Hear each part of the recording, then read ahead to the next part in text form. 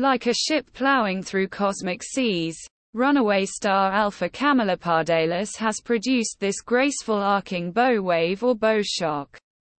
The massive supergiant star moves at over 60 km per second through space, compressing the interstellar material in its path.